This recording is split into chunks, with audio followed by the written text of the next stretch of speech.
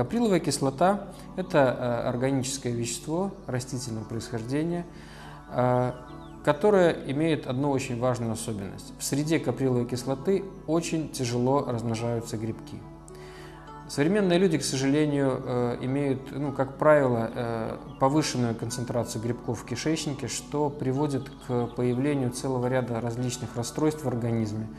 Э, это касается не только расстройств самого желудочно-кишечного тракта, но и опорно-двигательного аппарата, работы иммунной системы.